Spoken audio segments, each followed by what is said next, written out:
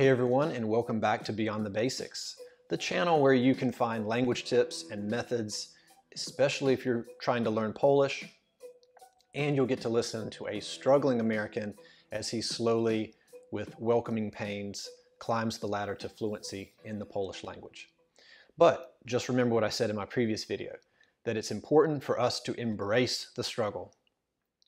And just to think, one day you'll be so far along that it's barely a struggle at all to keep up in your language. And you'll be thirsty for a new challenge, and maybe you'll be ready to explore a new language. Who knows? Uh, but for now, at whatever stage you're at, I hope these videos do you some good. Hi, I'm Michael Joyce, and at a very early age, I wanted to learn the Polish language. If you want to know why, I have both a Polish video on it and a video where I go back and forth between English and Polish for your listening comprehension pleasure. Uh, link to those videos below. So my accumulated study time has been a few years, but I'm supercharged and super motivated now to stay true to the promise that I made myself many years ago, and that is to gain a high level in Polish. But I would love for you to take this journey with me, not just as viewers, but friends, as friends, colleagues, uh, and fellow teachers to one another. This month actually marks my first official year back in action. Uh, I had taken almost a 20 year break from the language, something that I'll never do again, uh, because now I'm having just so much more fun with it. And luckily, relearning the basics came faster for me than learning from scratch. Uh, but I'm now encountering different obstacles, obstacles that you yourself are likely encountering, um, but here's how it typically goes. After the first few months of learning a language, you quickly get to the point where you can speak common introductions um, and you learn numbers and days of the week and colors, animals, and what have you. Um, but the many various apps, uh, learning software, and YouTube videos, they can get you there. Um, and people can sometimes get to this spot without even spending a dime. But where do they go next?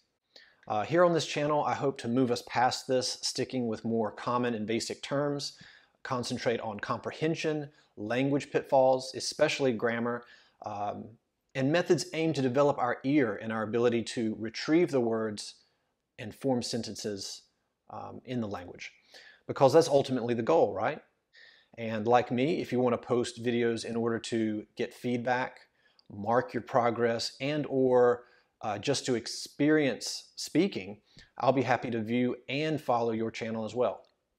So before we go any further, uh, let me take a second to mention if you like what you hear, please give me a thumbs up. And if you really want to make my day, subscribe to my channel. Um, now that we've gotten that out of the way, get over it! All right, here we go. So have you ever heard the saying, slow and steady wins the race. Now, obviously, this conjures the image of the tortoise and the hare, um, a children's story the world over by now, and logically applied mainly to production and quality rather than uh, an actual sport endeavor. Um, but with language learning, the race is never ending and certainly has its hills and valleys. But for most of us, it's extremely important to simply go at our own pace and not get frustrated at the rabbit that's constantly running around us. What's the ordinary rabbit? The detail, however, that I want you to embolden in your mind is that your stride, your pace, should be directed forward. Your sights directed forward. While it's true that there are many paths that we can take, there is one that is more direct and more helpful for you that'll build your prowess in the language more easily and quickly.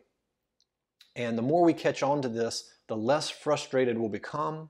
The less frustrated, the less likely we're going to give up or spiral into a habit of negative thinking that will undoubtedly stifle your learning progress. One of my big frustrations in Polish, and I have several, um, is when I put a long sentence into Google and it spits out a long string of words, sometimes in a strange order, along with grammatical endings that I'm not yet proficient in, and I think, am I supposed to do all of this in my head? Um, but many of these synonyms, word order choices, etc., at least in the beginning, is the same as picking up skipping stones along the way.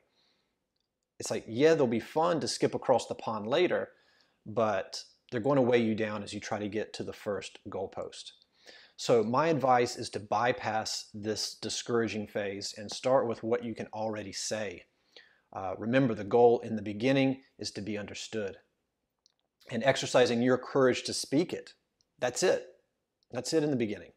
And believe me, I need to listen to this advice uh, just as much as you sometimes.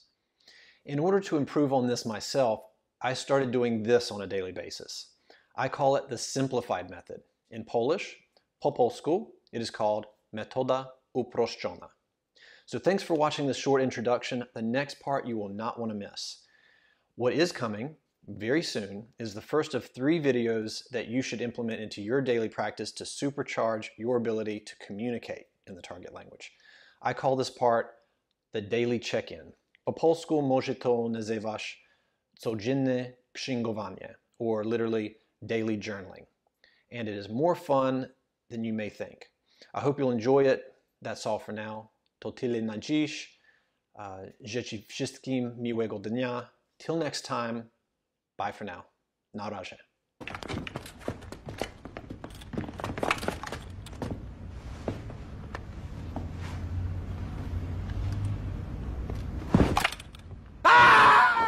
Ała, moja ręka!